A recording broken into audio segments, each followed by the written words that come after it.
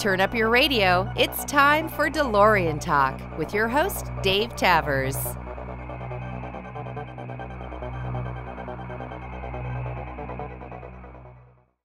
Hi, and welcome to another episode of DeLorean Talk. Thanks, as always, for listening. This is Dave Tavers. I really do appreciate everybody's great emails and sincere interest in this project. I really enjoy doing it and looking forward to talking to more people. Be sure to check out DeLorean Talk and DeLoreanDirectory.com. Uh, check out the DeLorean census, see if your VIN is listed on there, and if it's not, be sure to add the information, send me some photos, and we'll include it on the website. And spread the word as you talk to other DeLorean owners. Make sure that other people have heard the show, and if you have things that you want me to ask or things you want me to talk about, send them in. I'm especially interested in talking to club presidents around the world who want to talk about their DeLorean club and things that they're doing to make the club better or make it work. And hopefully, some other people will get some ideas from those as well. Today's show is uh, somebody that I met at DCS 2018. It was the very first people that I was going to do a quote unquote man on the street interview with. And it turned out that I got totally distracted because DCS is awesome. And I didn't do any other interviews with anybody. So even though I carried around the mic and the recorder for a long time, I didn't use it. but uh, luckily, I ran into today's guest, Ryan Foster, and his dad at DCS. Got to know him, ended up spending some time chatting over DCS, and we've been we've kept in touch since the show. So I said, "Hey, it's time to get you on the show so that I can use you for something else." And with that, I'll say, hey, Ryan Foster, thanks so much for joining me. Hey, Dave, thanks for having me on. I, like I said, met you at DCS. You had said that you had listened to the show and really liked it. And I've heard that from a lot of people. Actually, DCS was pretty awesome because the number of people that came up and they're like, hey, you're the DeLorean Talk guy, right? I was like, yeah. Uh, just people from around the country. It was pretty cool. And uh, getting to talk to you and your dad. You're not a new owner, but you're a another a recently new owner because you had a car back in the 90s uh or 2001 yeah 2001 short period of time. Short period of time. Yeah. and and then uh, decided to uh, be smart because you couldn't afford it got rid of it and then and then you just picked up another car uh, this last year. Yes um, march of this year. Yep.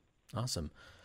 What is your background? What what have you done uh, in the past? Tell people about yourself.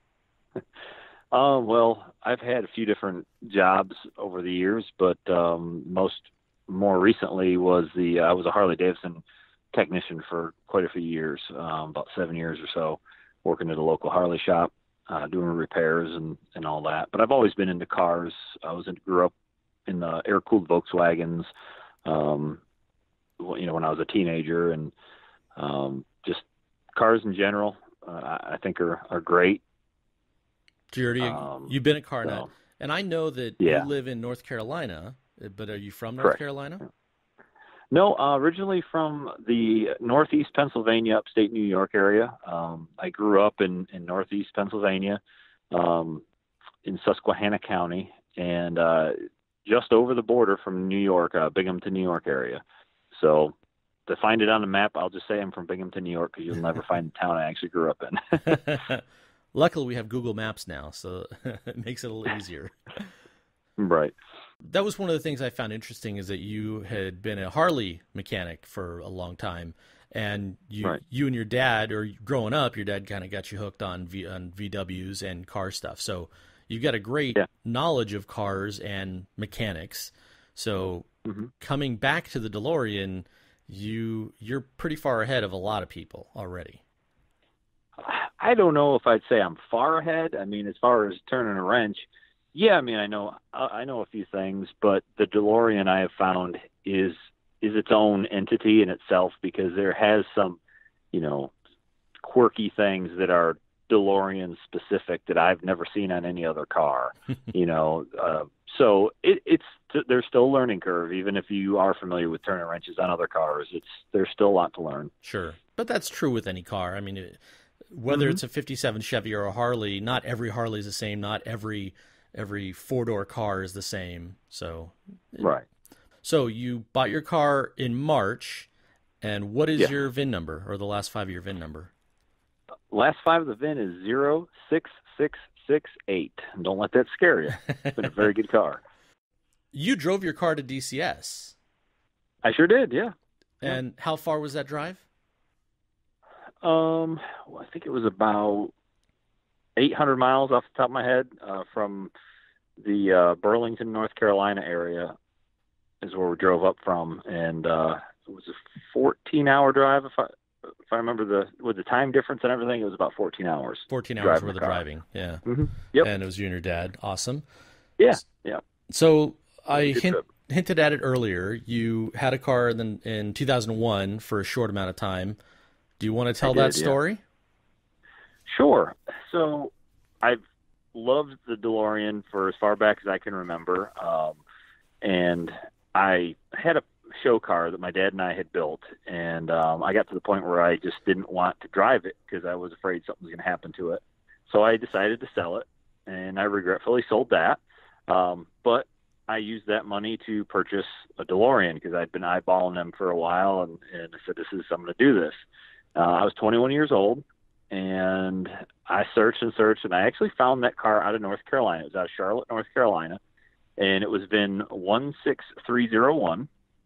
It was an 83, or well, the title said 83, um, and um, got that vehicle home, and I put it on the road and drove it, and I only owned it for about six months till I had to do something I could not afford to keep it on the road due to insurance purposes and my age. Yeah, uh, 21 and and yeah. maintenance and, and insurance, sure. Oh yeah, maintenance. I mean, the car ran and drove beautifully. I mean, it was it was a really nice car, very clean. Hmm. Um, but it just the insurance is what killed me. And I, you know, living in upstate New York, I, I was thinking I was going to drive it all year round, but realistically, I didn't want to drive it in the wintertime because the salt would have just destroyed the frame probably one one winter, and I would have been right. kicking myself. Yeah, yeah. So you ended up getting rid of the car and kicking yourself ever since. Yes, I got rid of the car, and I was upset about it, like because it's like I had, you know, you have that. This is it, and it was just like a, a tease in a way, like oh, here you go, oh, gotta take it away. And so I thought about it. You know, life goes on, and you know, I've got into motorcycles, and I've had a few motorcycles and a couple other different kinds of cars. Nothing spectacular or anything like that, but uh, probably the end of last year, November, December timeframe or so, I just started getting the itch again because I kept going, man, I, the DeLorean, that was the one that it's the one that got away, you know, and and I I still would love to have another one.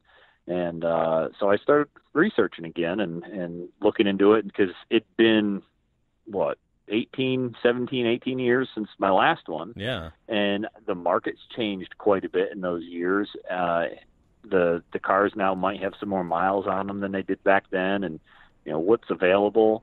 And I was quite surprised, actually. Um, a car that I paid fifteen thousand dollars for back then with twenty thousand miles on it would have been about a fifty or sixty thousand dollar car today. Uh, I couldn't believe the price difference. You know, if I was comparing apples to apples, the, the quality of the car uh, and the exactly, the yeah. yeah. I mean, because that car was a very clean car from what I knew, again, I I was still real green with those back then, and I've learned quite a bit in the months that I've owned this car, and in the few months prior to, like what to look for, and you know, looking at frames in the in the the roof box, and just little things that I never would have thought to look at before. Yeah. So well, at 21, no matter how much you know, you're probably not quite that in tune, and at 21 in 2001, did you know any other DeLorean owners? Did you get involved with any local clubs or groups back then? Sure did not. I didn't know any other local owners at the time that I had mine. The club scene, honestly, I for us, it, the internet was still real new where I was at, so trying to find stuff like that online never really even thought of.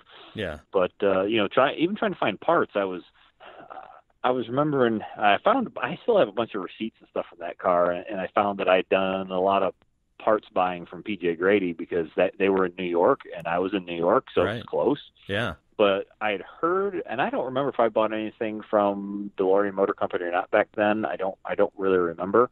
But you know, just trying to figure out parts and and what what was available. That was interesting, you know. So it was it was a different time. You know, today you go online and oh, you got this place and this place, and you can find all this stuff pretty quick. I do remember the what was the old forums that they used to have the DeLorean DeLorean mailing list. Yeah, DML, um, DML DeLorean yep, mailing yeah. list. Yep. I was on that for a while uh, when I had my car, and that was a, a pretty good wealth of knowledge back then. I have found my a bunch of those old mailing lists. If you go to Google, you yeah. can search for it, and somewhere it got archived, so you can find some of those old threads on there. Because I found stuff oh, wow. from me from like 94, 95, 96 posting on the DML uh, just through Google, and it's hysterical to see what I wrote at 19, 20, 21 years old, whatever that was. Uh, thinking oh, I'm embarrassed. I shouldn't even be telling anybody that, but uh, it, I look back and say, what a moron I was. I'm talking about, oh, wouldn't it be easy to raise the molds to make new body panels? And I didn't know anything what I was talking about because I've only owned my car for a couple of years now. And this is back in the right. early 90s. It's fun to think back on the early days of DeLoreans and the internet. It's definitely changed a lot. You know, technology is, you know, I guess it brought everybody a little bit closer together. Growing up where I grew up, there was a uh, import car shop and my dad came home. I was maybe 12, 13 years old, 10, somewhere in there. I don't know. And he's like, I got to show you something. And I was like, okay. So we drove up uptown to this local car place and they had a DeLorean sitting on their lot. And I was like, no way. I was freaking out. I was like, let's buy it. And he's like, no, we're not buying this car. but, you know, he wanted to show it to me because he knew I loved the cars. And um, I, I took a picture of it and, you know, just oogled all over the car. And every time we'd go up that way up to town, I'd be like, "Can we go by the, the dealership?" And and we'd drive by just so I could see it sitting in the in the dealership lot. and then finally they sold the car, and my dad's like, "Ah, it's gone. We don't have to drive by there anymore." so I mean, it was just like because you don't see them. I mean, even yeah. back then, you didn't see them every everywhere. Well, and especially not in the Northeast. You know, a lot of the cars were sold on the West Coast, and the ones that did go back east there just wasn't as many. Right. And I mean, even today, I don't see very many, you know, on the road, which I find kind of funny. I mean, I, maybe it's more collectors are keeping them in their garage. They don't want them. They don't want them out and about. I don't know. But I mean, where I live now, um, which is in the Burlington, North Carolina area, I, I don't know of any other owners right here in this area. Probably the closest one I've heard of is about an hour away. So, so. may hopefully somebody will hear this episode and then spread the word. What city are you actually? What city do you live in? Mebane, North Carolina. Mebane, North Carolina, which is near Burlington. So, yep. If there's anybody out there that that knows other owners in in uh, Ryan's area, get in touch. You're on social media. You're around. You're in you know different uh, Facebook groups and message boards. So yeah. yeah, you know maybe you'll maybe somebody will track you down and say, hey, I've got a DeLorean as well, and I do know I don't know anybody either. So yeah, that'd be great. I have a garage. We'll work. yeah, well, a garage and probably good tools, and you know what you're doing because you've already done a bunch of work to your car. Just having it less than a year, and you've already turned wrench on it a lot, right? Yes, I have. I've done a lot because I want to make sure the car is reliable as can be, and you know, I, I can just turnkey drive, and I don't have to worry about anything. It's I want to be able to drive the car as worry free as possible. Yeah. So yeah, I've I've gone through, done a lot of work on the suspension, fuel system, engine, um, radiator, some interior work. Uh, radiator had been replaced before I bought it. It's not the original plastic tank radiator. Nice. Is it all copper or is just a new? It's just a non-plastic ends. It's just non-plastic ends. I don't think it's an all copper one. Got it um, but it is all it does have metal tanks. But I've replaced the steering rack and I've replaced all the shocks uh, in the in the springs. Uh, when I bought the car, uh, the driver's side front shock was blown. Uh, it was leaking fluid and it just bounced everywhere. It was quite an interesting trip back from Arizona because I did drive the car home from Arizona. Yeah. Um, Arizona to North Carolina. Yeah, I mean, it was a fun trip. Don't get me wrong. I, I had a blast uh, driving the car back, and um, you know, and it's a, a big, you know, gamble you got to take flying out to Arizona to drive a car 2,000 miles home, and not knowing anything about the car. But yeah, you know, the guy took really, all in all, took really good care of the car. He'd owned it since 1990, and um, wow, you know, so I'm the third third owner of the vehicle, and um, I'm I'm happy I got it. It's it's been a very very good car. Awesome. Did you find it on Craigslist, eBay, Facebook? I found it on eBay. I was sifting through ads. I was checking uh, Auto Trader Classic, eBay, and I checked Craigslist, but there's not. It doesn't seem to be a lot on Craigslist for for uh, DeLoreans. Oh, maybe out there. I man, Yeah. I, I see way more DeLoreans on Craigslist than I do on eBay.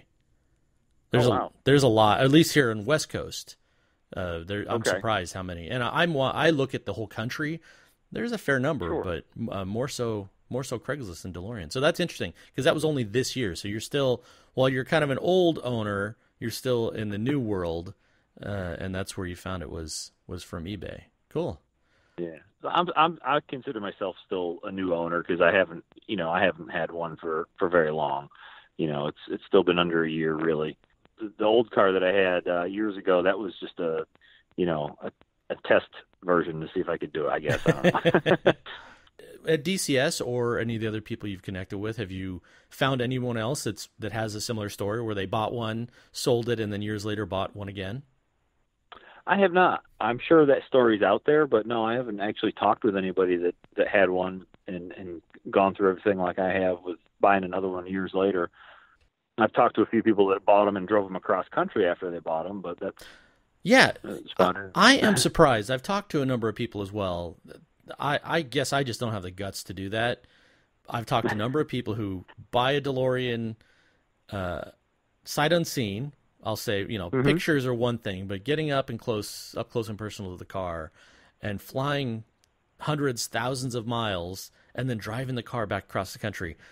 Maybe I and my car has been great. I have not had any Yeah. any issues, but I guess I, I just don't have that trust.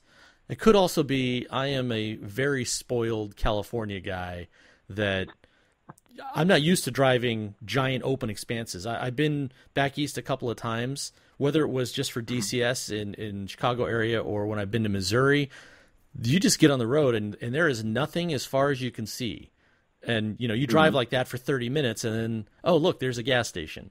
So I just always imagine breaking down in the middle of there and there's no there's not AAA that's 10 minutes away. At least Right. I, I assume that. No offense to people in the Midwest, that was just that's been my experience. Is there's a lot of distance in between uh, places. In in California, we don't have that, so it kind of freaks me out driving too far away. Driving to Vegas is three and a half hours, and it's it, it used to be worse, but there's still stretches where you drive for 20, 30 minutes and there's nothing. Right. Oh yeah, yeah out in the desert. Yeah. Normally, I ask people what the longest distance they've driven, but it's got to either Arizona to North Carolina or North Carolina or North Carolina to Chicago. I don't remember. Yeah. 14 hours you said Um, to Chicago. I don't know what how long it took you to drive from Arizona. Um, well, I made some stops on the way back. We we stopped at the um because a friend of mine flew out and rode back with me in the car, and uh, on the way back, I stopped at the uh, the UFO museum in Roswell.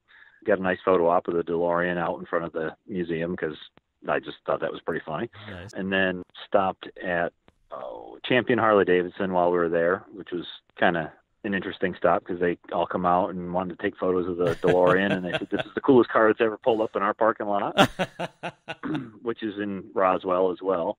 Wow. And then um, we made a stop at uh, DeLorean Motor Company in Houston because I figured we're we'll kind of detour and stop there. I, you know, I'd never been to their facility, and I thought, well, we're going to be almost there. I want to stop and see it Yeah, because you this will be pretty neat. right. Um, and it's very impressive, you know, all the parts that they have there, and and uh, just it blows your mind to go, wow, this is these are all original parts. It's cool. Yeah. And then uh, we made a detour down to New Orleans. I've never been to New Orleans, so we stopped there and uh, had some cuisine and and uh, walked around the French Quarter a little bit, and and then uh, hopped in the car and beat feet back to to Burlington, North Carolina. So it took about I want to say it was about five days, if I remember correctly, from the time we started uh, from uh, Phoenix back. It was about a five day total trip. How fun! Uh, that's a serious road trip in a DeLorean, and the whole time you're driving the DeLorean. It's not like you're towing it and then taking a your the pickup truck driving around. You're stopping at all the places with the DeLorean. Oh yeah, yeah. And we got. I actually had somebody in, somewhere in Arizona uh, we just left Phoenix, and and I honestly I couldn't tell you what road we were taking. It was I didn't want to take highways. I wanted to take secondary roads because they're more fun to me. Yeah. And so we're just cruising along, and this guy behind us, and he's following us, and I know he's following us because I'm like every place I move to, he'd move to, and I'm like, okay, all right, what's going to happen here? And we finally stopped somewhere uh, to stretch our legs. I wanted to check the car over a little bit because I'd still had only had it for a few hours and right. I wanted to make sure everything was still good, you know. Yeah. And this guy pulls I mean, I'm pulling through the parking lot trying to lose the guy and he just continued right on my butt and I'm like, Okay. I'm like, just get ready because I don't know what's gonna happen here and we pull up and he pulls up next to us. He goes, Wow, this is so great to see one of these and he goes, I remember when they were new. I took one for a test drive. I was like, oh, cool. So we he went. We talked for about forty minutes in the parking lot. And I'm like, you're right, a... man. Well, I don't mean to be rude, but I, I got a long way to go. you you so yeah, you'd own the car for a few hours, and that was your first uh, experience yeah. with with uh, that's awesome. That is yeah, awesome. It was, pretty funny he was a nice, the nicest guy, and it was just, you know, he was just neat to reminisce. You know, he was like, man, I remember when these things were brand new on the lot, and I was like, I wish I could see that day. I mean, yeah. I would have been, um, you know, two years old when they were brand new on the lot, but that would have been neat to, to go back and see those. Yeah, man, that's a oh. that is a fantastic like first first encounter uh, within a couple of hours oh, yeah. of driving the car away. Do you remember? did you have anything like that back when you owned the first car in in two thousand one? you, you know in six months i don't know how, how often you re- you drove it or did you have many people talk to you it was my everyday driver back then that was the only car i actually owned at the time so i drove that thing everywhere but no i never had you know i never had the experiences then that i do now um at least none that i can remember but you know like i've heard other people say you go to a gas station and you know a five minute gas stop will take you 30 minutes because right. everybody wants to take pictures and yeah. which i'm like, hey, I'll put the doors up. I'll, you know, whatever you want to do. Give me just a minute to get my gas, and you know, they'll ask me questions, and you know, I've had people ask me if it's a kit car and is it aluminum, and you know, all this stuff, and you know, and I'll I'll answer as many questions as I possibly can, you know, yeah. and I'll let take all the pictures, and you know, and the great thing is, is everybody so far that I've met it something like that has been so nice and they always like can i take a picture i'm like of course you can take a picture you know go for it I just find that to be such a weird question. Because uh, you're right. I that is honestly that's probably the the second or third most popular question. Can I take a picture of your car? and I don't know why I find that just so weird. I maybe I would do the same thing. I don't think I've ever taken a picture of somebody's car, but uh, I don't know. I guess if the person is standing there, that's why they do it. Because you're right. Even it just happened last night. We had our monthly dinner with the D's uh, DeLorean yeah. meetup for the Orange County DeLorean Club, and we had four okay. DeLoreans in the parking lot, and you can see people taking all kinds of pictures, uh, sure. but we weren't sitting right next to the cars, so that must be it. Is that people? It's great that people are polite, but that must be what's going hmm. on. Is that they they're actually they're asking, can I take a picture of the car, but you're kind of in the way. Uh, so is it okay if I get, get a picture, picture, of you? or or that they want to make sure that it's okay that if they get a picture of me in the car, uh, you know, us in the car. So right, I always get out of the way. I said, you know, so do I. You know, I don't want to break your camera. Just get a picture of the car. yeah, yeah, I'm always so. doing that too because the the picture looks better without people in it. Oh yeah, yeah, and like a lot of times I'll have just the driver door open because I'm getting gas or whatever, and, yeah. and they're taking pictures. So hold on just a second, and I'll open the passenger doors. like it looks so much more uniform when you got both doors open, you know. Yeah. So well, that so that brings up a question. Do you think you're going to install Toby's uh, remote door poppers? I already have. Oh, you do? Okay. Well, yeah, that's yep, even that was... that's even more fun when you when you're somebody's going to take a picture and you just pop the door remotely. Right. So, quick story behind that. Um, I, I saw those on his website. I man, that'd be a great upgrade one day. I said, but it's not a necessity right now. And, you know, and I was having an issue with the door locks when I first bought them uh, when I first bought the car, I noticed that the passenger side door wouldn't always unlock. um, and it was it was a random thing. I couldn't get a common denominator of why it was happening that way. I ended up getting some technical advice from one of the vendors and did some diagnostic work and found out that I actually had a bad solenoid, and it ended up being the solenoid in the driver's side that was bad, causing the passenger side to malfunction. Yeah. Um, I won't get, I won't get into all that, but anyways, Well, it's pow- So, they're power uh, locks. The idea is that when you're supposed to be able to lock one, it locks both. Correct. Well, you also have the door lock module, and I've read how they can overheat and cause problems, you know, because they're like an analog system and use the coils and everything. Yeah. So I started doing some research, and then I discovered that Toby at Northwest has the actuators, and and I so I do some research. I always research everything before I I invest in anything because I want to see if this is worth it or not. But I've read a lot of good things about the actuators. I've I've read you know opinions on both ways, and I and I get that everybody has an opinion. But I thought, well, this is more of a modern upgrade, and I want the thing to be re- reliable. I don't want to get locked in the car. Yeah. So I uh, I ordered the actuators from him. Actually, before I did that, I, I ended up buying the digital door lock module because I thought that that was actually my problem before I realized it was a solenoid. Um, and the, the great thing about that module is it actually has a readout on it that if you have a door lock problem, it will tell you what's going on with your doors and helps you diagnose problems with the doors, which is pretty cool. Uh, so, anyways, I ended up getting the actuators from Toby, and I said, "What the heck? I'll get the the wings aloft system, uh, the door poppers, and I'm going to be in there. I don't want to keep pulling the door panels on and off, so I did all Yeah. at the same time." And wow, I tell you what, that is the coolest thing to do. I mean, I popped the door open, and people are just like, "Wait, how did you do that?" It's like magic, you know. uh, they just they think it's cool. But now I get everybody go, "Can you close them with that?" I'm like, "No, it doesn't work that way."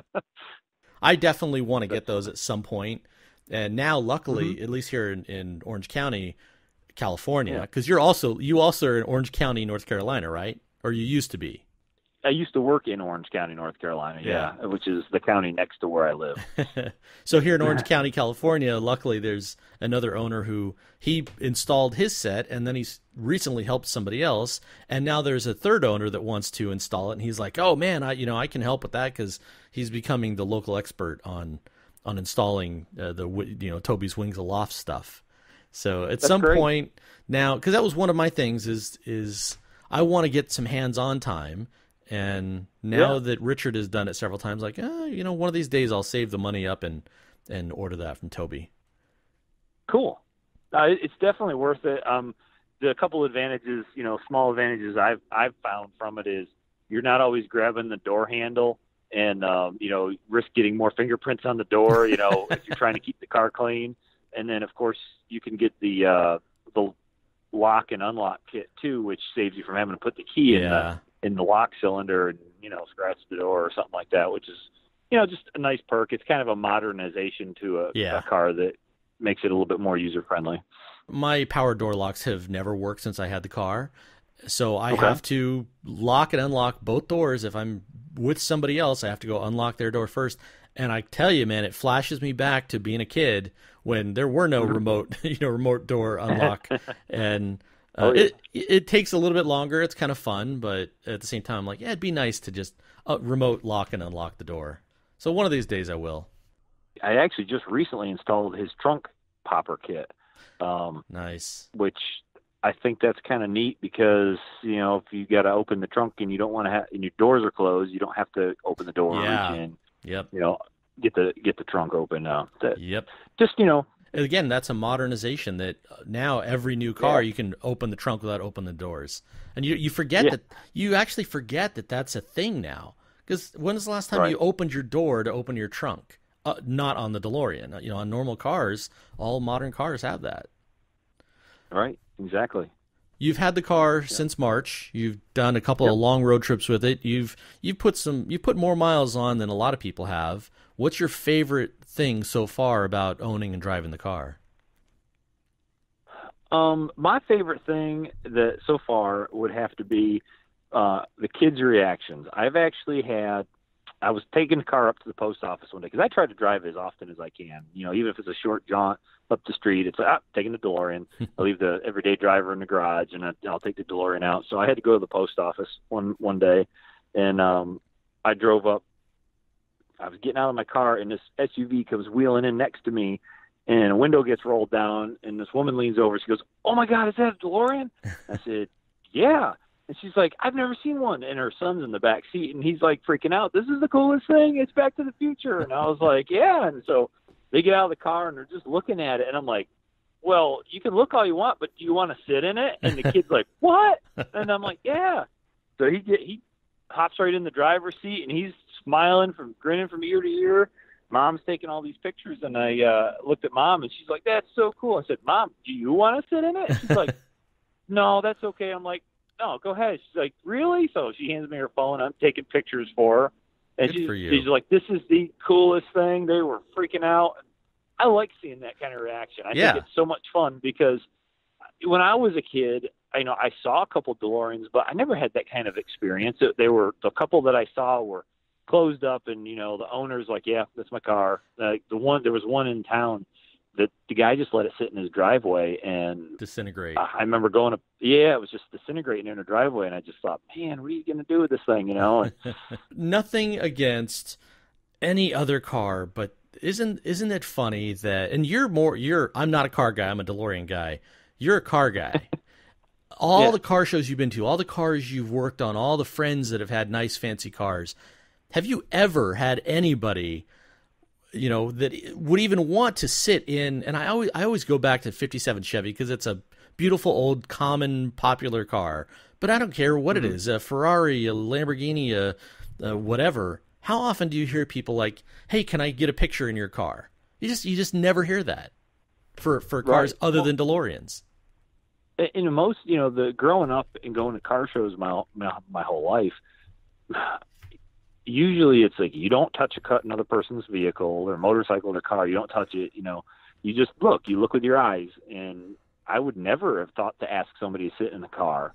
You know, but I guess a GTO or a, a 57 Chevy or a Trans Am, something like that, you see those more often than you see a DeLorean Yeah. you know and and you know those are all cool cars but the DeLorean has a couple things that normal cars don't have and I think that's what makes them even that more unique and people get more excited about them you know I mean how many cars do you see with gull-wing doors Yeah. that, are stainless steel I've had so many people go so is that the original paint and I go yep, it is. You know, it's and I said, but you know, this is stainless steel, and they're like, really? And I was like, yeah, that's go ahead, touch it. Or stainless steel, just like you know your kitchen sink. I hate to use that analogy, but yeah, it's It's the sa- it It's is the the, same same, stuff. stuff. Yeah. yeah, 304. And, I, uh, th- I isn't that what Yep. they use? 304 and ki- kitchen sinks as well? yeah, yeah. Yeah. 304 has uh, less carbon in it, so it won't rust. There's actually like a 400 grade stainless that will rust um, because there's more carbon in it. Oh. So Well, I- I'm so happy that that you and I think most of I say us, the the next generation of owners, we like sharing the hmm. car. And I'm and Oh, yeah. nothing at all against anybody that they don't want people touching or looking or breathing on their car. There's nothing there's nothing wrong with that either, but I'm I'm glad that you're one of the people that enjoy sharing with other people with the public. Isn't that funny? I, I say public like I'm we're not celebrities, but the car is a celebrity. So sharing with the public is probably a, a, a good analogy. Right, right.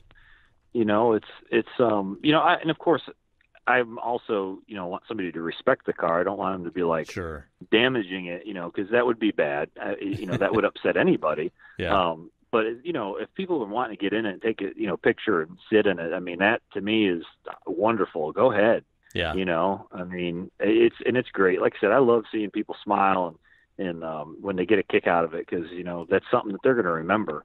Like you know, wow, I got to sit in a DeLorean, or you know, I've getting. I actually a friend of mine, um, her son is um, just watched Back to the Future for the first time, and they thought the movie was awesome. He's like, uh, I think he's ten, and um, Ah, so I, you know, she knows that I have the DeLorean, and so they came over. I had I did some work on her car for, her, and the DeLorean was in the garage, and he's like, "Oh my God, that's like from Back to the Future." And I said, "Yeah."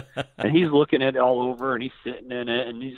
I said, "Let's go for a ride." He goes, "What?" And so he he was real calm. He sat in the passenger seat. I took him for a ride, you know, up the road a little bit and back. And and she told me later, she goes, "Oh my God, all he did was talk about that car the whole way home and how amazing it was." And I was like, "Cool," because I couldn't tell. He was so just like calm, just sitting there, and I was like, "What do you think?" He's like, "That's cool." It's cool. And I, was like, all right. And I guess he just kept it all inside till he was at home and he just burst. It was like, that was so awesome. I was like, Uh. awesome. That's great. So, Well, at DCS, I also got to meet your dad. You and your dad came to DCS. Your dad's a awesome as well. Trip. Yep. Father son trip. I. I generally know what your dad thinks about it. What about the rest of your family? Do you have siblings or uh, you know other people in the family or close close friends? Anybody have opinions about the car that you shouldn't have bought it, or are they just as excited as you? Um, well, I uh, I'm the one and only. That I have no siblings, and um, so um, my mom, she thought I should have waited. She, you know, she's like, I think you should wait, you know, to buy a car, and I'm like, yeah, well, I know what you think, but I just did what I wanted to do anyways, you know. So we should always listen to our parents, I know, right? But at, at a certain age, you gotta, you just gotta do it. And I Yeah. said, I don't want to get too old to enjoy the car, you know. You know, you don't know what the future is going to bring. Um, Ah, I should add sound So- effects when people make quotes or lines from Back to the Future. yeah, you know, it's I, I want to enjoy it while I can. You Yeah. know, that that's my thing. And so, you know, I I went out and I, and I bought the car and and I mean now you know my mom thinks it's cool and everything, but uh um but yeah, I mean folks that I work with get a kick out of it and um and all that. But no, nobody's ever told me I shouldn't, you know, really own one or anything like that. But there Sure. I was telling somebody the other day, I said, Yeah, I was at home working on the DeLorean and he stopped me and goes, That is too funny. I go, What do you mean? He goes, How often do you hear somebody, Yeah, I was at home working on my DeLorean you know? yeah, that's not a common phrase people say. So you So- at the beginning of the call, you talked Yeah. about a bunch of stuff that you've done. Uh, Sure. what's the biggest the biggest change or or repair that you've made to the car so far? It sounds like the springs are that's a pretty big deal. Taking the replacing the springs and the shocks, you know, that's not that's not Um, something you just do in, you know, 20 minutes. No, that definitely took me all of two days because uh, one, I'd never done one on the done that job on that car before, and two, getting the right spring compressor I found was the most important thing for that job because there are a few different kinds of spring compressors available out there, and the clamshell style was what I ended up finding was worked the best and the safest Mm. for that job. But yeah, it's it's a pretty big undertaking. Um, it's not something that you want to say, "I need to get this done in an hour" or anything like Yeah. that. It's, it, but I've rebuilt almost the whole front suspension because I found worn out parts. You know, I, I ended up boxing in my lower control arms while I had them off. I, I cleaned them all up. We boxed them in, and I put new ball joints in there. Tell people like me who are not car nuts Sure. what it means to box in. Well, if you look at your lower control arm, like if you were to climb under your car or jack it up and, and look at the bottom of a stock lower control arm, it's more or less a U shaped. Uh, you're, it's a stamped piece of sheet metal, and from everything I've read, it's kind of a weak point in the front suspension because, especially down near where the ball joint is, between the ball joint and where the the, the spring coil plate is, there's uh, it's just a piece of sheet metal, and if you hit something wrong or if it starts to get rusty and it's gotten weak, what will happen is um, there's it can the metal can tear, and then your lower control arm is now no good. So to box it in would be to take a plate and weld it in so it basically takes that U and turns it into a square, if you will. Mhm. So it Protects it's hollow. it, strengthens it, and keeps keeps the the, Yep. the under the weather and the water and the the environment from hitting it directly. Well, yeah, I mean, you you still have you got to have a hole in there for the shock to go up through, but it's it strengthens it a lot because now you've taken something that's just a U shaped and you've you've connected those two ends of the U basically with a piece of plate, and now it's it's more rigid, and you're going to have a lot less flex in that metal at that point because you've boxed it in. Sure. So it's it, it's a good upgrade. You know, they you can buy them already done, but I, I just didn't want to spend that kind of money right off the bat since my control arms were good. What kind of metal is it? Something simple that you put on there? You weld it on? So my dad, my dad does a lot of fabrication. Uh, he builds trailers and and all kinds of stuff, and he's I gotta say he's amazing um, with the stuff that he builds. And I, I said, this is what I want to do. I found a picture of one that was boxed in online, and I showed him a picture of mine. He goes, oh, that's easy. Said, okay. Mm-hmm. So I, I took him off and I brought him over to him because he's got more time to do that stuff than I do. So I left him with him for a couple of days, and he used 304 grade stainless steel in the same wow. uh, 14 gauge steel because the if I remember correctly, we we gauged the control arms are 14 gauge steel. He had 14 gauge stainless, and he cut out a plate and welded it all on there for me. Said, "Hey, they're ready to go." Wow! it's actually got a stainless steel plate at the bottom, which is kind of nice. Like I said at the beginning of this episode, one of the reasons why I wanted to have you on is to mm-hmm. use you later on because I've gotten a lot of feedback from people who have said they really okay. liked the episode with Chris Miles from Fresno, California, sure. because it was more technical. And most of these okay. these calls have with people interesting. Everybody has fun stories and and it's good, but a lot of people have said I want to hear more technical stuff. You're mm-hmm. super outgoing and friendly. While you're still a new owner, you've done a lot of stuff already. You know cars. So what I want to do in the hopefully near future is start doing some shorter different episodes, shorter episodes that are I don't know, 15 20 minutes long, and I'm hoping to get uh-huh. you and Chris Miles on a call together because you both have different experience. He's been around a long time. He knows a lot of little tw- tricks and and tips, and you know you're a mechanic. You know cars and you know how to do things.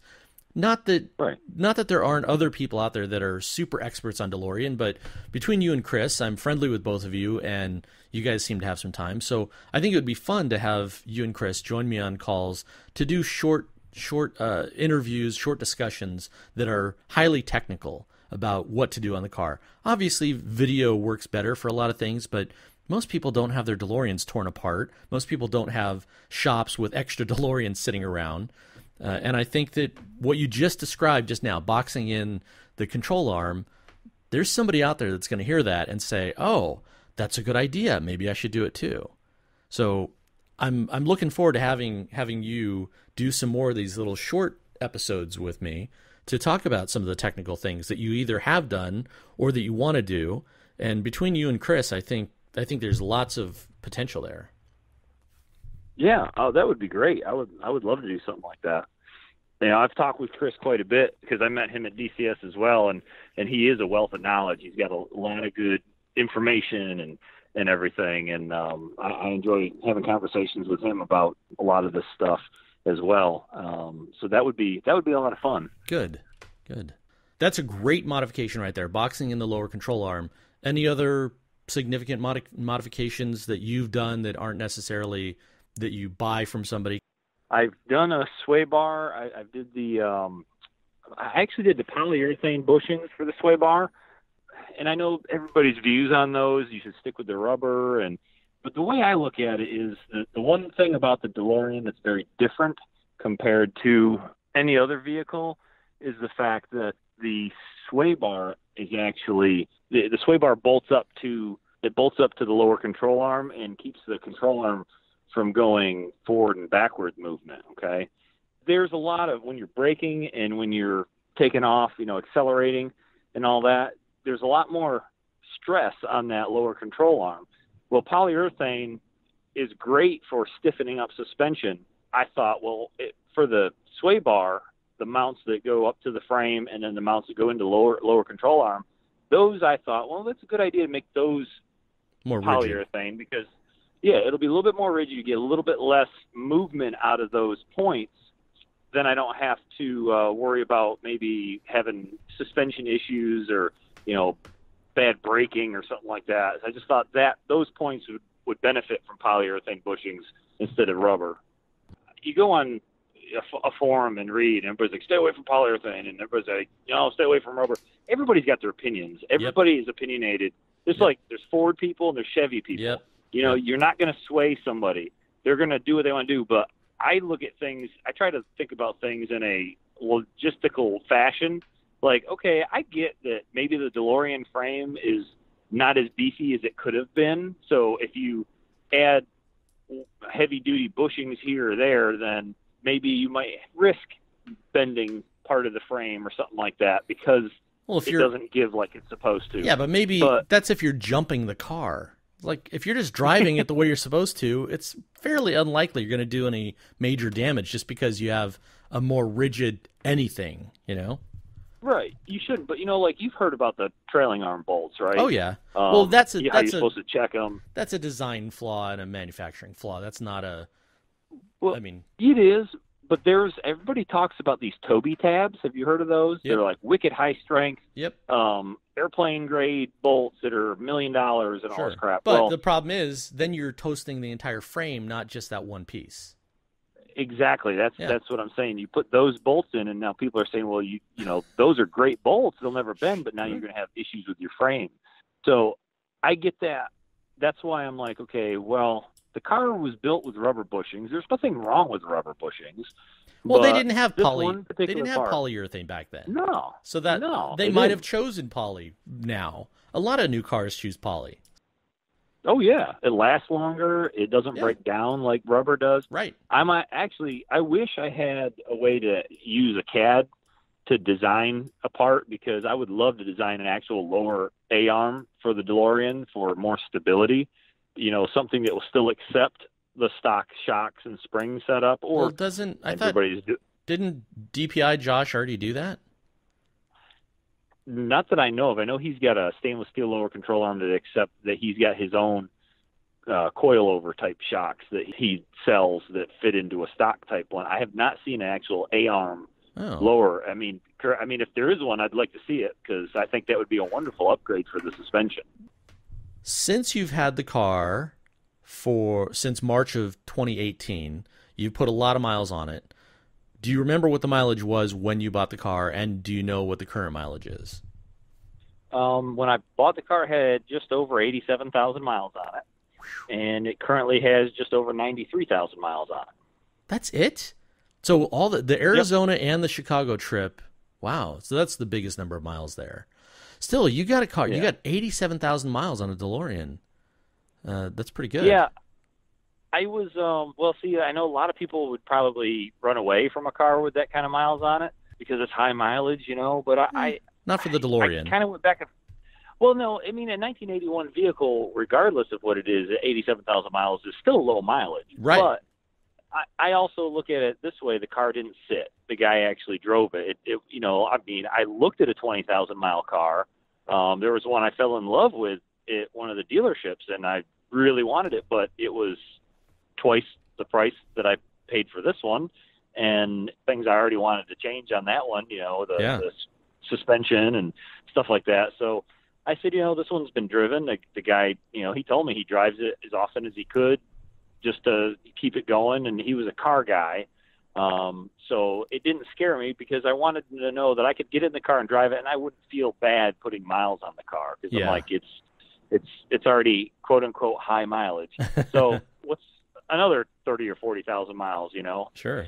so I've mentioned that on previous episodes that early on I, I thought, oh, do I want to try to keep this pristine and low mileage? Because mine only had 16 when I bought it, which was great. But I spent a bu- bunch of money getting it refurbed. And then I said, no, I'm just going to enjoy it. And while I don't, again, I don't think I have the guts to do a cross country road trip unless I had you in the car or Chris Miles in the car, or if I was driving to directly to DMC Texas or some some place that I knew could fix it. Um, I've driven in Northern California, but that's a pretty easy drive. There's lots of flatbed tow places and not a big deal. But any place else, I don't know if I have the guts for it. We'll see one of these days. have you gotten a quote unquote best piece of DeLorean advice yet? Anything come to mind of some great wisdom that someone told you either years ago when you first got got the first DeLorean or in recent months? um, And if you don't have an best piece of answer, that's fine. I you know I I can't say I, I I can't say I have an answer because there's a lot of good pieces of advice on this car. Things that again typical cars, you know, a front engine car the cooling system, for instance. You know, this is a big, big thing that a lot of people may not understand if you've never owned one before. You know, with the the fact that you can get air trapped in the cooling system if you have to open it up for anything, and that there's two points that you have to bleed to get air out, and if you get air in there, you basically, you know, it, the system gets locked and you, you know, coolant's not flowing where it needs to flow, and you can overheat the motor, which is an all aluminum block, and you can have a lot of issues with that. That's a something that you know you really need to know, um, and that I learned that actually with my first car, unknown to me about that. I was driving my car home back in 2001 when I had the the 83 DeLorean, and I was cruising along, just jamming out the tunes, and I happened to look in the rearview mirror, and all I see was steam pouring out the back, and I was like, "Oh no!" I shut the car off, threw it in neutral, and I happened to be right at the top of a very tall hill, and I threw it neutral, and I just coasted down the hill to try to get, let any air that could, you know, go Yeah. over the motor to cool it down until it ran out of momentum, and then I just pulled it off to the side of the road, and I just sat there and waited until everything was cooled off because I had no idea what was going on. You know, again, that was a very very new owner, and I I didn't know if I just blew the motor up or what was going on.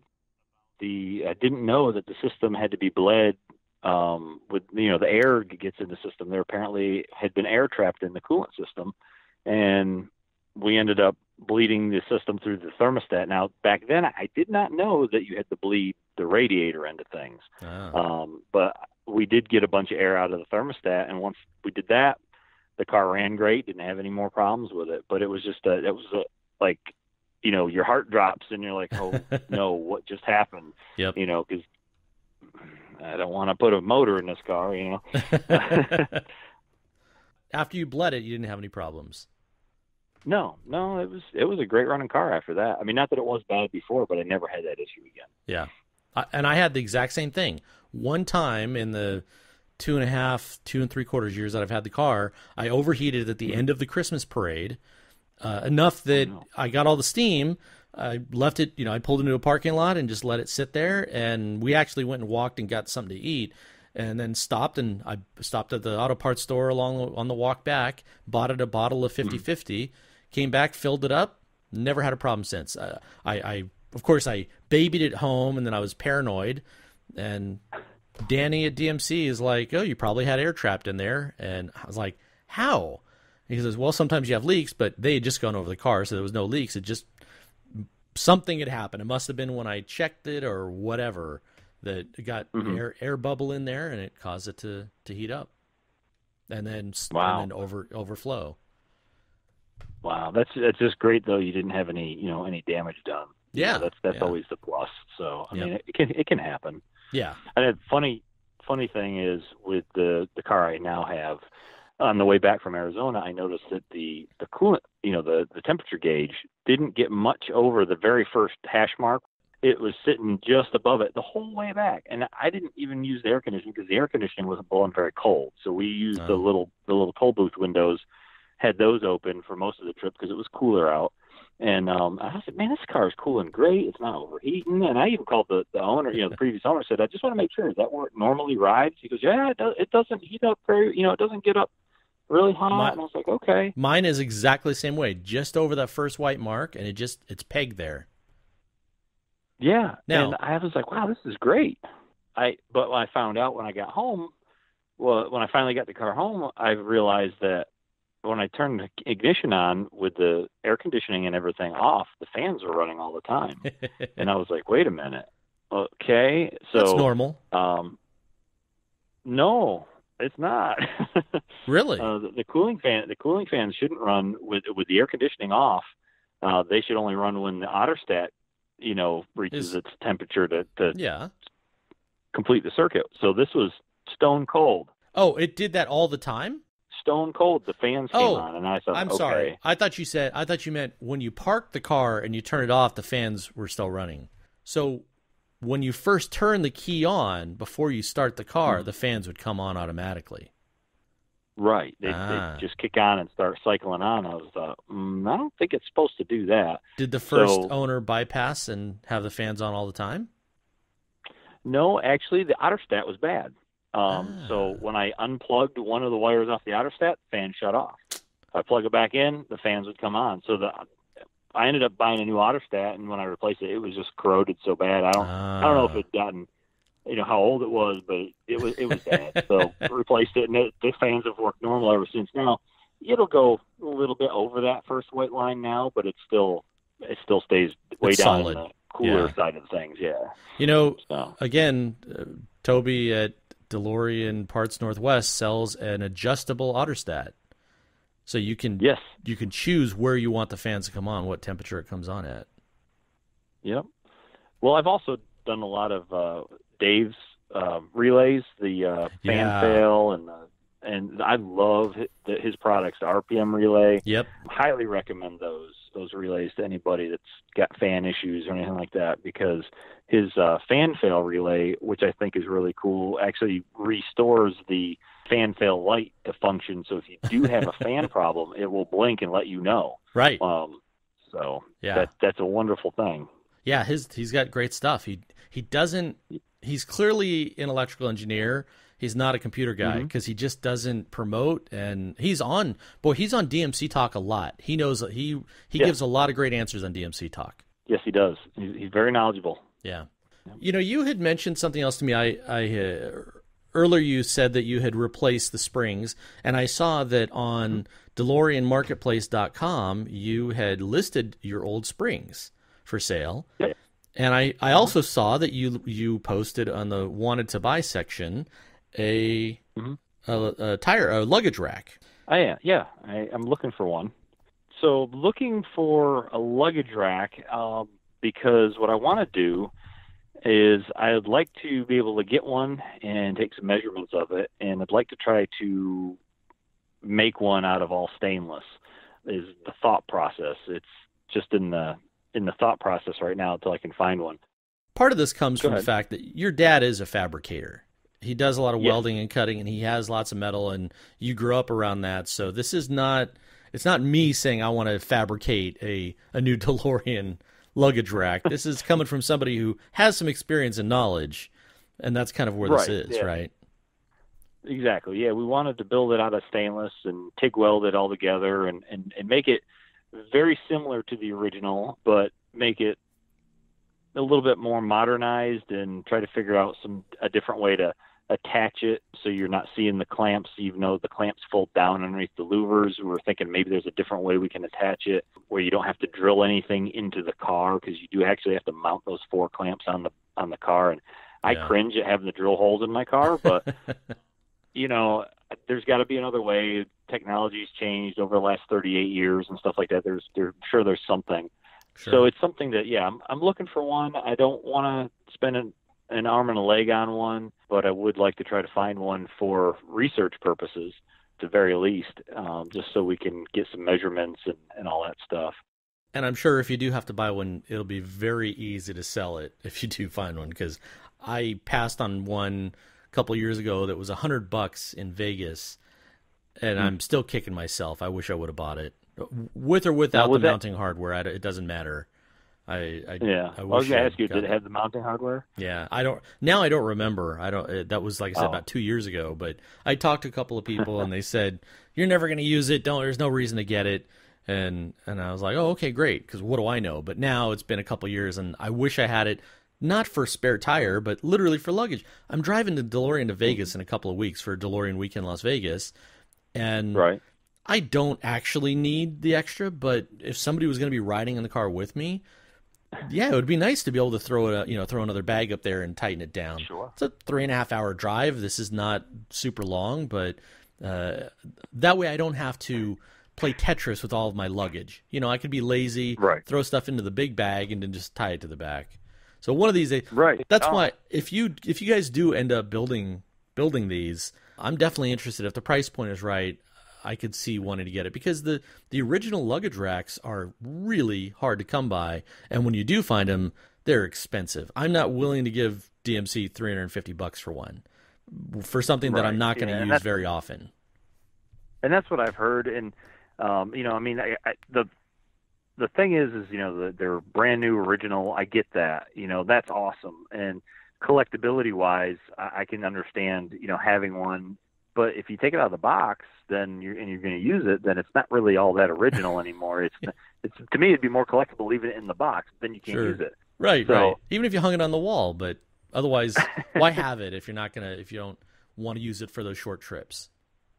Right, right. And I mean, yeah, it's probably not something you're going to use all the time, but when you do need it, it'd be nice to just have it somewhere, you know, whether it be in your trunk, because I guess the original ones they were designed to fit in your trunk, so you had it when you needed it. Right. Um, but regardless, it, it'd be just nice to know I, I've got the option if I needed it. Yep. Um, and like I said, I want to I want to do them out of stainless steel to match the car, and then you know you could always have it powder coated black if you just wanted to have it black And that's what I would blend want. in with louvers. Yeah, I would Yeah, want a black that- one.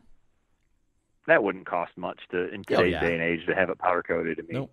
And it's a small amount of metal. You're not talking about half a car. You're talking about yeah, a small amount. So Right. very cool. Well, I hope that I hope to hear more about that in the future. I hope you get get that project together because I'd like me to too. see that. Me too.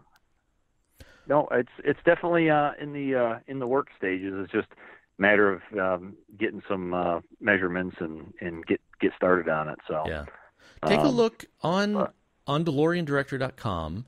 There's an article about Mhm. Jeffrey Dragotta from I think he's from Paris, France, and he took him and another owner took their car, their DeLoreans, camping, and they built. Uh, I'll call it a crude. No offense to them, it's a it's a bit crude, not nice looking, but it worked great. And they were doing car camping. They had a lot of stuff in the DeLorean, so Oh wow. and he's got a bunch of pictures. So you might take a look at there and see if the, any of those pictures at least are inspirational. Okay, I'll have to check that out. I'll tell you what, on the trip back from Arizona, the car was fully loaded. I mean, there was not a spot that we could have put anything else. The trunk, because the previous owner, I mean, he had parts and memorabilia. I got books and documents and paperwork like galore from when the car was brand new. I got every receipt for the car. Um, I actually have two three ring binders full of stuff that I, I've gone through and I've reorganized it by year, month, Wow. so everything is in complete order from when it was brand new till till now. Um, he gave me a, a huge stack of DeLorean World magazines. I mean, uh, a bunch of different DeLorean books. I just he had the trunk full, and then I had the, my stuff could only fit in the parcel shelf behind the passenger driver seat, and that was I could barely see out the back window. As, as small as that is, that tells you how much was back there yeah. so yeah, it was it was it was quite a trip. There was not much room for anything else, and but I could see again going back to the rack. That that would have been nice if if we had had one of those. I could have Yeah. had a little extra room for some stuff. But So jealous of you guys. I just met another new owner last night who, or actually, Uh-huh. he, he's had his car for two or three months.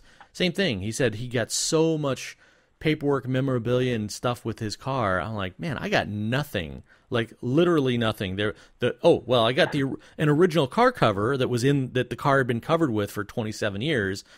That was it. Uh-huh. There was nothing else in the car. They didn't give me anything. was it was it in good shape? The car cover? Yeah, sorry. When I say original, it was not a DMC car cover, but you can tell that it was 20, Oh, 25 okay. years old. So yeah, not a DMC car cover. It didn't have the bag, just a DeLorean on the side. No, no. I, I'm Uh, I'm I- fairly sure this is not a DMC car cover. It could be, maybe. Well, I tell you what, I got one with my car, um, and it had the bag. So I was going through all the stuff before I left there, and he had he goes, "Here's the original car cover." I'm like, "Oh, okay." And it was up in the trunk, all folded up, and I, you know, the little cubby hole behind the driver's seat. Uh huh. He had stuff in there too. I'm going through that, and I'm, well, there's this bag, and it says DeLorean on the side, and I'm looking at the bag, going. Well, that's neat. I wonder what came in that bag. And then I went and I looked at the car cover again. I'm like, wait, these are the same color. I bet you that goes in there and sure enough, that's the bag for the car cover. I'm like, wow, that's cool. And I tried awesome. it when I got home, and it fits the car perfect. I was like, well, that's neat. well, I'm jealous of you guys. I've had to build my own collection of stuff over the years. well, there's nothing wrong with it. Did you at least get the window sticker with your car? uh, the the quality check window sticker. Oh no, you mean the the purchase sticker? No, no, L- literally nothing. In fact, this is one of the things that kills me. I was I was so excited about having the car that when I went well, that when I went to DMV to register it in my name, unfortunately, I took the original paperwork, the original license, you know, title for the car. Mm-hmm. And DMC, DMV forced me to turn it over to them. And, oh. and I oh. was like, oh no, I want to keep this. They're like, you can't. I'm like, are you kidding me? So I, I don't even have the original title because DMV took it. Very such oh, a bummer. Man. Yeah, and then I found uh, out. I said, I said, well, could I just give you a photocopy? And they're like, no, just give us this one. And I was excited, and I didn't quite. I was brand new, so now I look back and I tell people like, if you get a chance, do not take the original in. Just take them a copy of it and say the original got lost. They have all of it in their hmm. computer. They don't need the original piece of paper. So anyway, uh, okay, yeah. So well, I got nothing. Well, well, anyway, boohoo. Other than the DeLorean, what is your daily driver? Yeah. What what kind of car do you drive other than the DeLorean? Okay, well, my daily driver um, would be uh, a 06 Saturn Vue um, SUV, um, and then I also have a '94 Chevy van, uh, the old the, the old body style, you know, like the A Team van body style van. I have oh, one of those. Awesome, well. awesome. Just yep. always curious yep. what people drive other than DeLorean. I've got a Jetta, and that's not terribly exciting, but some people are driving more oh. exciting cars. other than well, the DeLorean, what's your what's your other dream car? Well, that's you know that that's a, a tough one. I, I I've loved there. I love a lot of other cars. It would have to be like a a 66 GTO or a 77 Trans Am. I like Pontiacs, you know, and I don't know if that has anything to do that John DeLorean also designed the GTO, yeah. but I, I just and I think it's actually influence from my dad because uh, you know he likes Pontiacs a lot, and I just I like a lot of the body lines and stuff on on some of the Pontiacs. So yeah, I, I like the old GTOs a lot and the Trans Ams. I'd probably have to someday add one of those to the stable, but cool. All right. Well, before I let you go, last question. Sure. I ask a lot of people, and you've probably heard me ask other people. What is currently in the mm-hmm. trunk of your DeLorean? Well, currently in the trunk of my DeLorean is a fold-up camping type chair for going to car shows. I've got that, Smart. and then that's about it. I got the spare tire, um, and the jack, and all those tools yeah. up in the front right. apron. But actually, actually, in the trunk is just that chair. Wow, you're good. I, I, I don't like a lot of clutter. awesome. Well, Ryan, thanks again for joining. I'm excited to do some more mini episodes with you, talking technical things on the on the DeLorean, and appreciate you taking the time. Dave, thank you for having me. I enjoy your show. I hope to hear many more episodes coming up here in the near future as well. I'm working on it. All right. Well, everybody out there, again, thanks as always. Don't forget to check out DeLorean Talk on all social media. Check out DeLoreanTalk.com. Be sure to check out DeLoreanDirectory.com. Lots of articles. There's a big collection of anytime news or media writes something about the DeLorean, it gets added to the list. There's the DeLorean Census. It's growing and growing and growing. Lots of great information there, lots of photos. If you submit your VIN, then be sure to send over a bunch of pictures, however many pictures you want to share, and uh, just lots of great information. So check it out, and also uh, check out DeLoreanMarketplace.com if you're looking to buy or sell DeLorean related stuff. Thanks again, and drive safe.